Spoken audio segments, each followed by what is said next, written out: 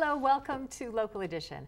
I'm Leslie Leyton. It's getting easier to stay up to date with what's happening in Fountain Valley. One way is to go online and uh, log in and see. The other way is to listen for a few more minutes because the mayor is here now, Steve Nagel, to uh, tell us what's going on in the city of Fountain Valley. Welcome. Yes, uh, well, we're uh, happy to announce that uh, our uh, community dashboard has been opened up with our police department. They can track incidents in the city almost as it happens. And so it's a, a running of uh, activity in the city.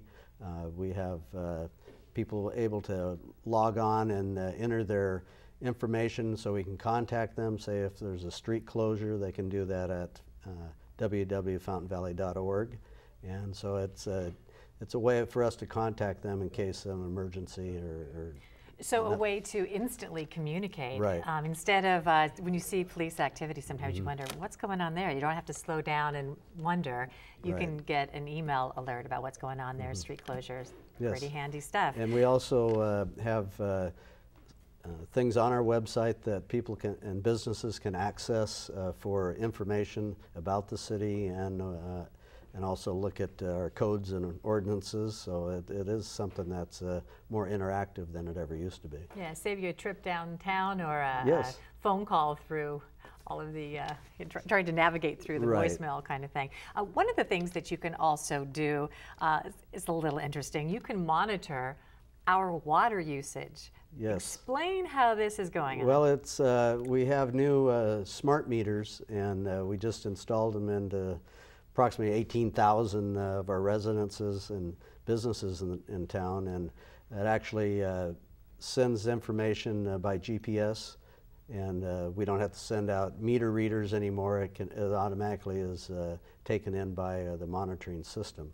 But uh, it shows consumption and, and patterns of usage. So in the drought conditions that we have, we feel it's important, but also really helpful to the homeowner and, uh, and our businesses and, and their use. Awareness can help, but are you finding people at this point if you find out that they're watering on the wrong days? No, we, we usually, if there's uh, something that shows up as an abnormality, then we can go out and investigate, see whether there's a water leak or not. That's one of the things we've found is that this is really showing uh, uh usage that may be unknown to the, the resident. And water leaks can be really, really dangerous.